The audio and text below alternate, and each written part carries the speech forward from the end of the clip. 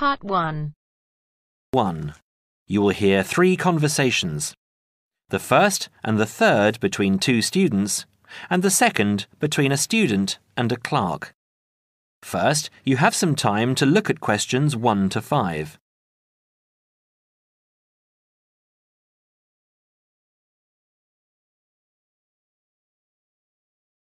Now we shall begin. You should answer the questions as you listen, because you will not hear the recording a second time. Listen carefully and answer questions 1 to 5. Hi, it's Mike, isn't it? Yes, and you're Phoebe. Phoebe, right. Where are you headed? I'm looking for the main hall. So am I. Are you going there to register for next year? Yes, I was told to go to administrations and fill in an application form. That's what I'm about to do. I went to information and they told me it was at the end of this corridor. Then we have to turn left and immediately right. That should lead us to the exit, where opposite we should find the entrance to ground level main hall. It's a big old red building. From there, we need to go to the first level and then follow the signs. Apparently, it's the second office opposite the foyer. It would be pretty hard to miss. That sounds easy. It shouldn't be too hard to find. Well, since we're both heading in that direction, let's go together. Hopefully, it won't take too long. I haven't had anything to eat and I'm starving. Me too. Well, how about I go to the canteen and get us something while you make your way to the main hall? I'm sure there's going to be quite a wait. There always is. I can meet you there. Sounds like a good plan. What do you want me to get you? Um, how about a chicken and salad roll and a drink? Okay. What if they don't have a chicken and salad roll? Anything similar like ham and salad or just plain salad and cheese. Oh, and don't forget the drink. I feel so dehydrated. No problem. What type of drink? I don't know. Um, How about a Coke? no, nothing like that. Something healthier. An orange juice? They're usually full of sugar unless you get it freshly squeezed. Water? Yes, that's perfect. Here, take two pounds. That should cover it. If it's more, I'll give it to you when you get back. I only have a 20, and you know that they get cranky if you give them large notes. Okay. See you in five minutes. Before you hear the rest of the conversation, you have some time to look at questions 6 to 10.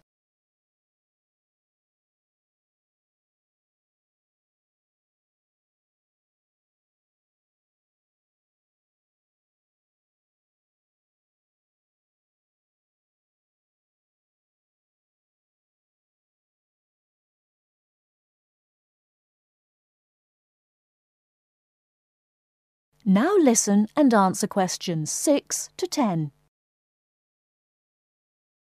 First year economics, I'll just have to fill out this form for our records. What's your name? Phoebe Payne. Can you spell that for me? Sure. P H O E B E P A Y N E. Your address? 6 Wainwright Avenue. That's W A I N R I G H T Nottingham. Nottingham. And your phone number? It's not connected yet. I've just moved in. Okay. When you get your phone connected, contact us. I'll just make a note that your phone number is to be advised. I'll do that. What course were you doing? Law? No.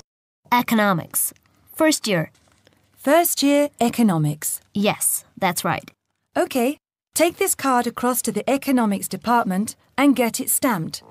And then you need to come back here to pay your fees. I've made an arrangement to pay in installments. Do you have any documentation verifying that? Yes, I have a statement from administration. Okay, when you return, we'll have a look at it. Thank you very much. Here you are. It was quicker than I thought, But I have to get this card stamped and return here to organize my fees. That's good. It means that I won't have to wait long either. How did you get on? What with? Oh, the food. Well, there wasn't much left, so I got you a cheese and tomato sandwich and water. That's fine. Do I owe you any more? No, I need to give you back three pounds. But I only gave you two. Oh, yeah. I thought you gave me a fiver. Okay, so we're square. So what do I have to do? Go to the desk and give your personal details. Then they'll give you a card that you need to take to your faculty. What's your major? Environmental science. Okay, so you'll have to take the card to the environmental science faculty and get the card stamped, return to administration in the main hall, and organize your fees. And that's it. Yes, that means you're registered. Then we receive a letter with the details of our course where we'll be informed to go to the notice board or online to find out when and where our lectures are. Okay. Let's have this bite to eat first. That is the end of part one.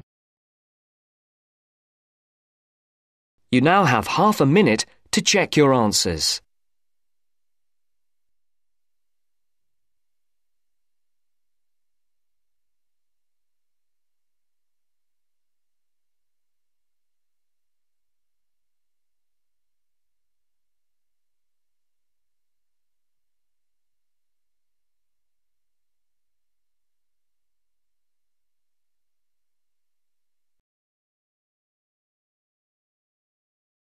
Now turns to part two.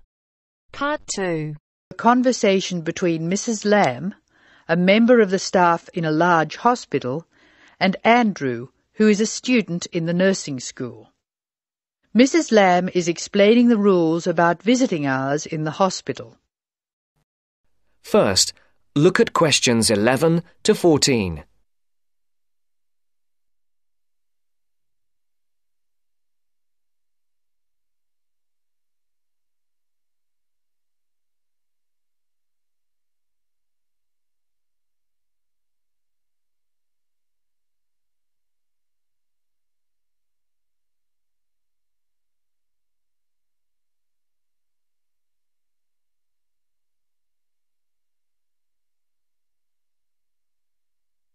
Listen carefully. Hello, Andrew. I believe you want to know about visiting hours. Yes, I do, Mrs. Lamb. I have to fill this form out, and I'd like to have some idea why the different parts of the hospital have different times for visiting. I see. Well, let's start with an obvious one intensive care. People in intensive care are very sick indeed, and for that reason, we say that visitors can come between 6 a.m. and midnight. I can understand that. At the other end of the scale, our maternity patients are usually quite well, but we restrict their visiting hours from 8 a.m. to 8 p.m. We find they get very tired if we permit visitors all the time. I see. What about the surgical wards? The doctors prefer to do their rounds early in surgical, so visiting hours are 9 a.m. to 9 p.m. Surgical patients are often on very heavy painkillers, and they aren't really very good company for their visitors. But surely the visitors come to cheer up the patient, not the other way round. Of course. And often the visitors are able to help the patient a lot. That's why we allow visitors all day, the full 24 hours in the emergency ward. They help comfort the patient while they're waiting to be diagnosed. Of course, it's not just everyone who can visit a sick patient. People in intensive care can only be visited by their immediate family. What's more, we only allow two people in at any time. We let children of the immediate family in to visit people in intensive care, but we don't like to do it. It's very hard on the children, and it may distress the patient.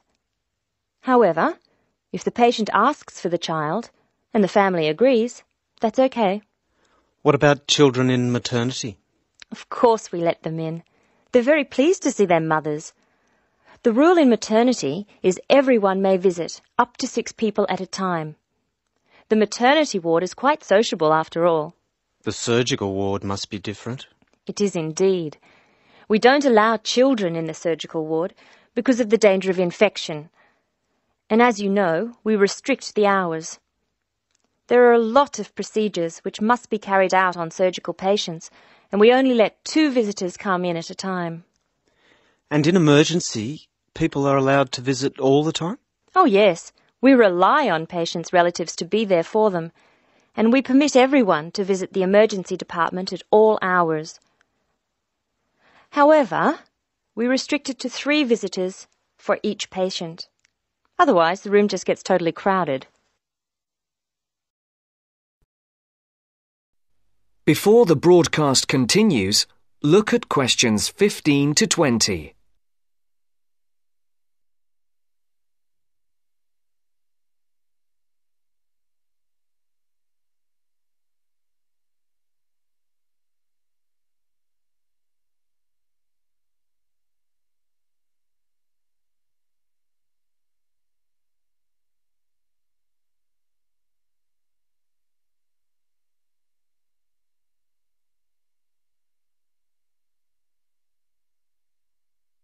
You will now listen to the second part of the talk. Now I have your schedule for the next week's observation sessions. Are you ready? Yes. Where do I start?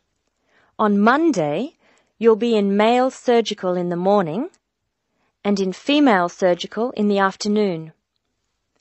You'll be following Dr. Shea on her rounds. Thank you. And on Tuesday? On Tuesday, you'll be with Dr. Thomas in the morning and Dr. Robertson in the afternoon. No, that can't be right.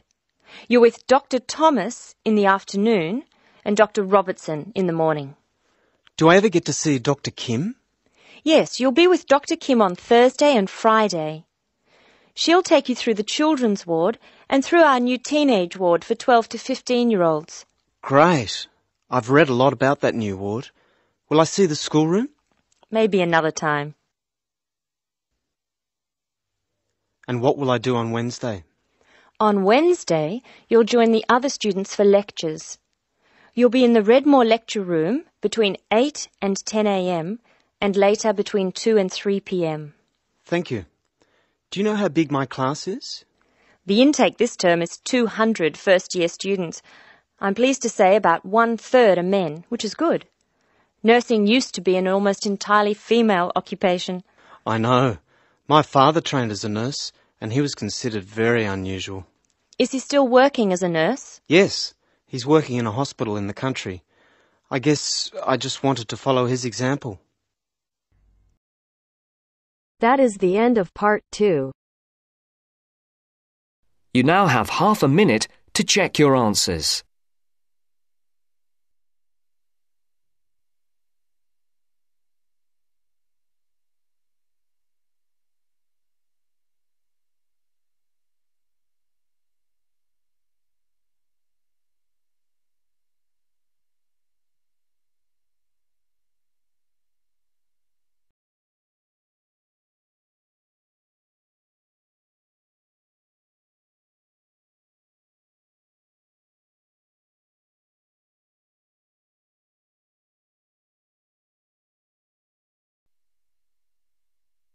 Now turns to part three. Part 3. You'll hear a discussion between two students and their teacher on a planned charity event. First, you have some time to look at questions 21 to 25.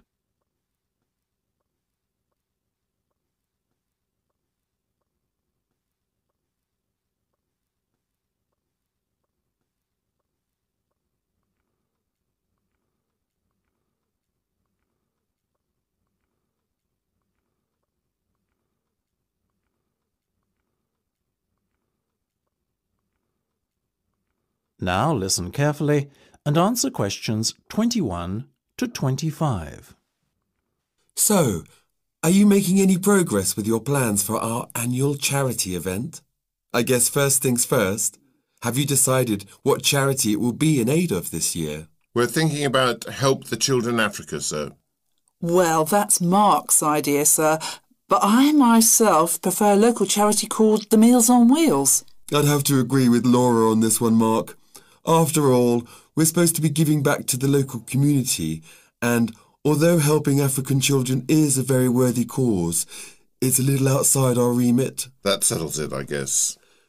Moving on from the beneficiary question, have you made a decision on what type of event it will be? Yes, we plan on doing something a little different this year. We're calling the event Balloonathon. Basically, we're going to offer balloons for sale to all the students. Balloons? I don't see where you're going with this.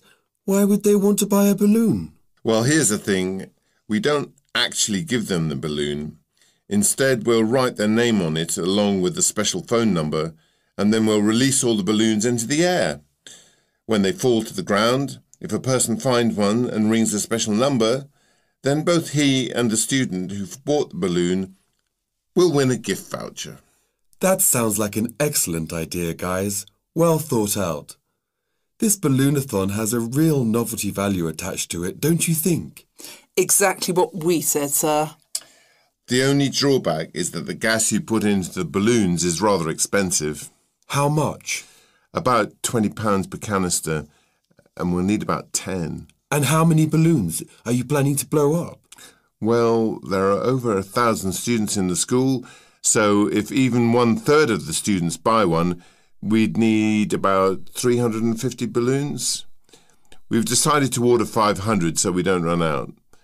The good thing is we can return the canisters of gas if we don't use them, and the balloons aren't expensive, so there's no real risk of us spending a lot of money without getting a good return. You two have really thought this one out. I'm impressed. Before you hear the rest of the discussion, you have some time to look at questions 26 to 30.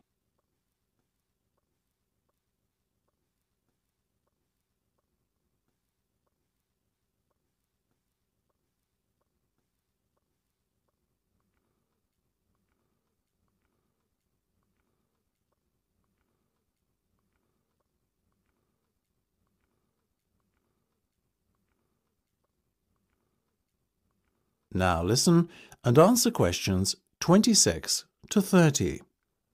Thank you, sir. So, how much money do you think we can raise? Well, each balloon costs about 1p, and when it's filled with gas, it's going to cost us about 50 pence. We reckon that if we sell our balloons at a price of £1.50 and we sell all 500 of them, we'll end up making a profit of £1 per balloon. So that's £500 in total. That's fantastic. And it gets better, sir. We've secured a sponsor for our event who's going to give us a thousand pounds. How did you find a sponsor?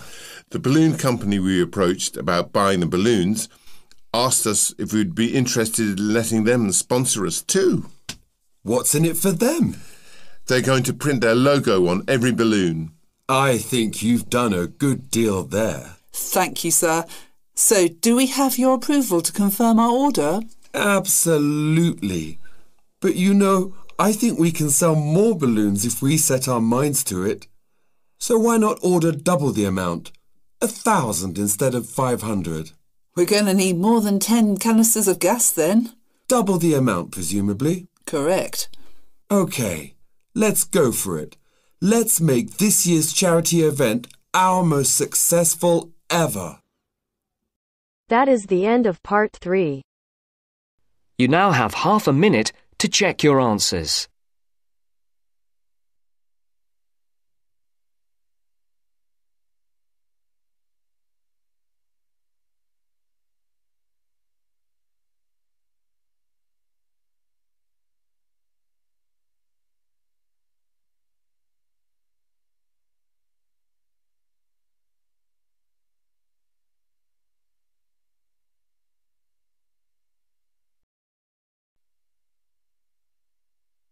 Now turns to part four. Part 4. We're going to hear a talk on wild rice.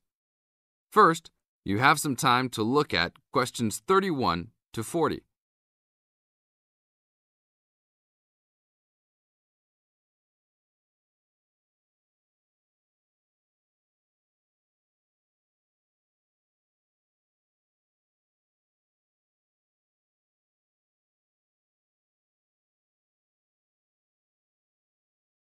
Now listen to the tape and answer the questions.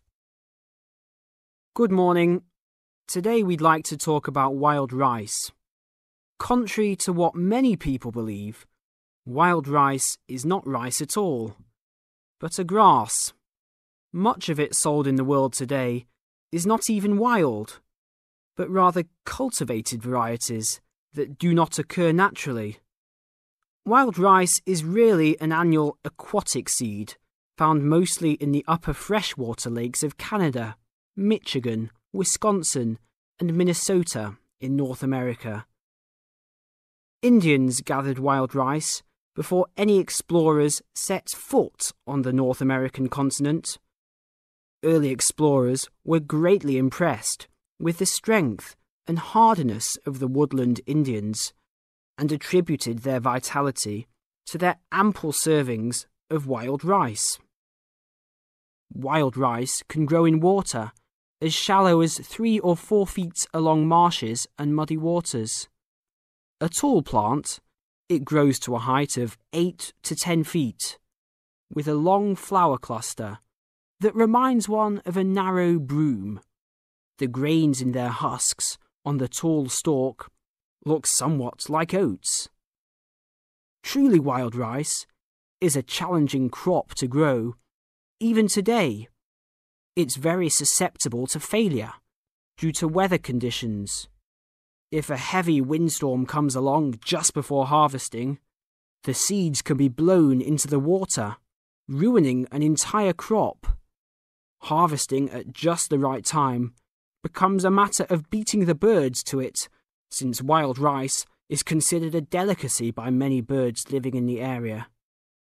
Other challenges include insects, disease, poor drainage, and high waters. If the grains are too green, they are difficult to thresh or beat out of their husks. If left on the plant too long, even a few days too long, they fall off the plant into the water. Airboats have brought about recent improvements in commercial harvesting of the wild rice, while newer techniques for parching, winnowing, and hulling have been a help in saving time and labour. Still, it takes about three pounds of grass seed to yield one pound of wild rice.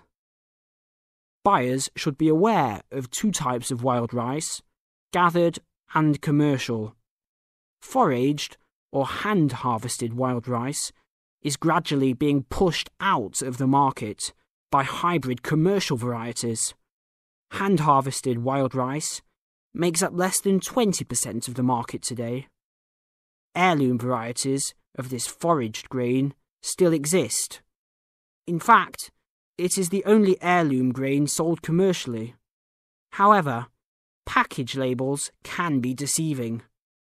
Though the label may read Indian harvested or organic, the product may be hybridized wild rice placed in freshwater lakes and gathered by Indians in airboats.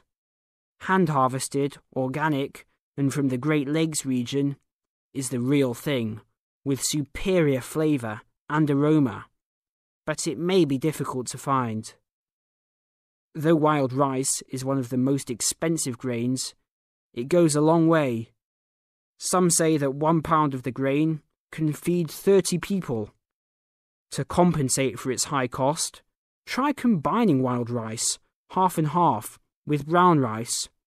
For a truly colourful presentation, try one third of each white rice, brown rice, and wild rice. That is the end of part four. You now have half a minute to check your answers.